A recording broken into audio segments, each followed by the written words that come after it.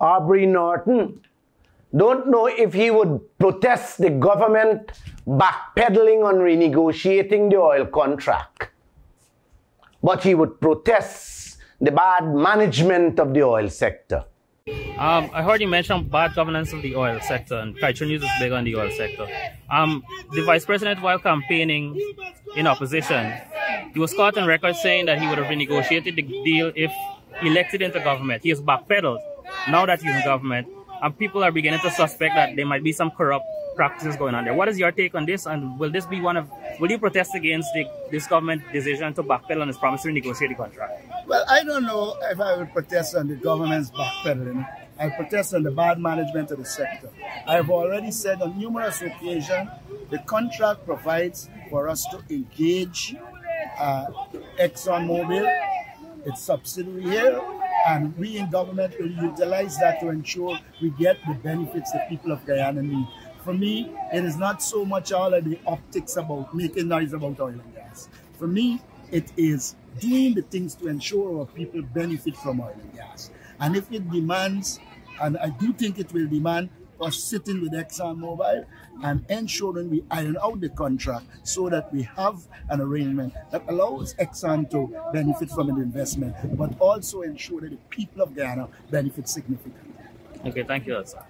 He said, on numerous occasions, the contract provides for us to engage Exxon partners here.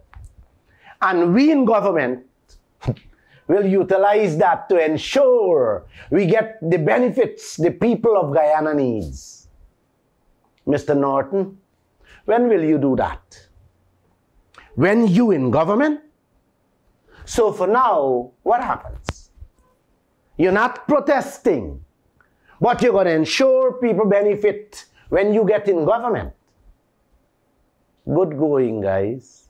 Y'all in good hands here. Let me remind Norton that the contract also allows for renegotiation. When will you engage Exxon on that? So that the starving nation can begin to breed and eat. When you get into government, Okay. For him, it's not so much of the antics and making noise about oil and gas. It is doing the things to ensure our people benefit from oil and gas. And he said, if it demands us sitting with Exxon and ensuring we iron out the contract so that we can have an arrangement that allows Exxon to benefit from their investment and ensure the Guyanese people benefit significantly.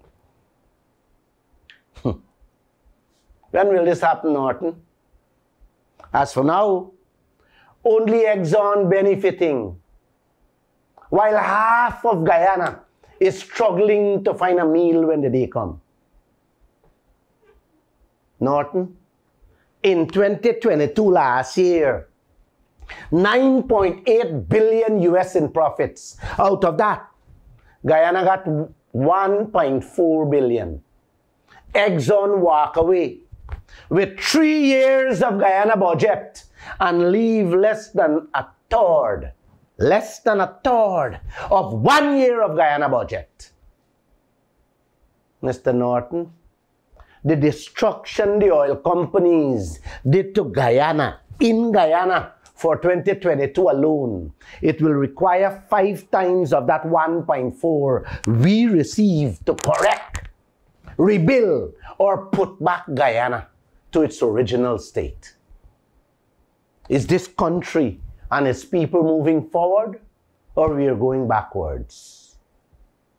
Are the people of this country benefiting? Or we will continue running to the foreign banks to feed our people. the language I just want to use to describe these leaders of what they do and what they say is a good thing I believe in the man above. Y'all have a nice day.